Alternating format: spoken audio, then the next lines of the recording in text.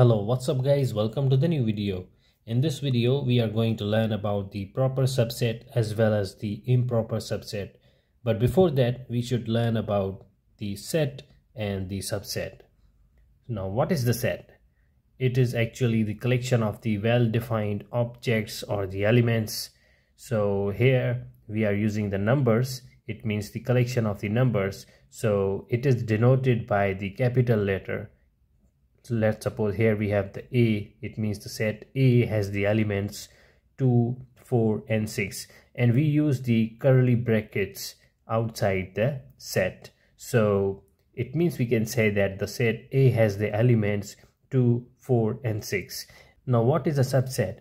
A set a for example we have the two sets a and b. A set a is a subset of set B if all the elements of set A are present in set B. So let's suppose this is the set A and this is the set B. So here we have the elements in set A 1, 3 and 5 and in the set B we have the elements 1, 2, 3 and 5. Now you can see that all the elements of set A are present in the set B. So it means we can say that A is a subset of set B. Now, here it is clear. Now we will learn about the proper subset as well as the improper subset. Now you can see that here we have the set A which has the elements 1, 3 and 5 and we have the set B that has the elements 1, 2, 3 and 5. Now you can see that this set is smaller than set B but all the elements of set A are present in set B. So in that case, we can say that A is the proper subset of set B.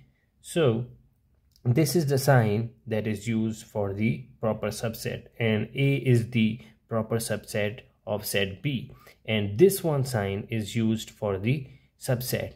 A is the subset of set B but it is not clear whether it is a proper subset or the improper subset this is just the general sign used for the subset whereas this is clarifying that A is the proper subset of set B. Now we come to the improper subset.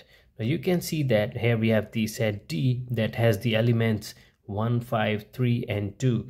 Now all the elements of set D are present in set B. So we can say that D is the improper subset of set B. We can also say like B is the improper subset of set D. All the elements are equal. We are not concerned about the arrangement of the elements, but the elements are same and the number of elements are same. So we can say that B is the improper subset of set D and we can also say like D is the improper subset of set B. I hope you understand. Thank you for watching this video.